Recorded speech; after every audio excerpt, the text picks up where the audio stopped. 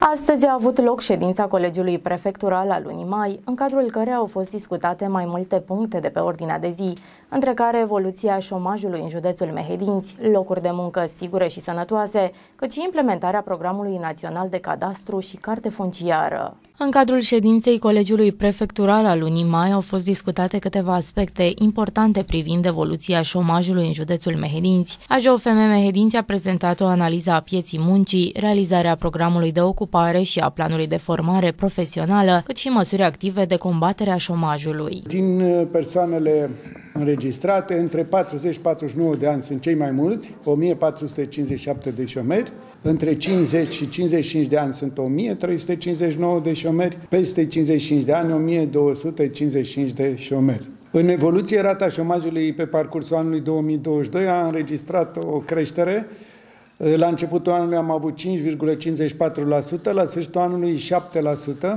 Această creștere se datorează și faptului că a scăzut um, începând cu luna septembrie, indicatorul care îl primim de la statistică, populația activă civilă în județul Mehedinț a scăzut um, de la 101.000 a scăzut la 82.600, deci 18.400 de persoane Fenomenul uh, cred că e generat de îmbătrânirea populației, de migrația forței de muncă din județul nostru către alte zone, cât și în vederea ocupării unui loc mai bine plătit. De asemenea, au fost prezentate de către Inspectoratul Teritorial de Muncă din Mehedinți raportul cu tema Locuri de muncă sigure și sănătoase.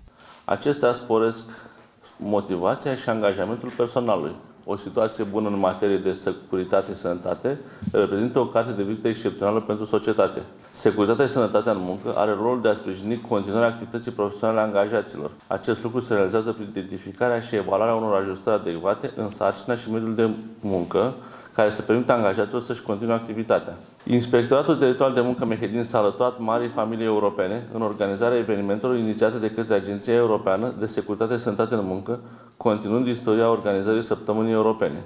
În perioada 5-7 octombrie 2022, sub conducerea Inspecției Muncii, s-a organizat de către ITM Mehedinți a doua ediție la nivelul județului a simpozionului Săptămâna Europeană de Securitate și Sănătate în Muncă, având tema afecțiunile musculoscheletice, participând un număr de aproximativ 130 de reprezentanți ai angajatorilor și reprezentanți ai administrației locale și centrale. La nivelul județului Mehedinți a fost implementat programul național de cadastru și carte funciară, iar în cadrul colegiului prefectural au fost discutate stadiul și problemele întâmpinate în derularea acestuia. La nivel de unitate administrativ-teritorială, Vorbim de lucrări care sunt prinse pe programul operațional regional și anume avem 12 localități. Voi enumera cele 11 care sunt deja contractate, și anume Șelnița, uh, Burila Mare, Butoiești Lovița, Jiana Prunișor și Mian,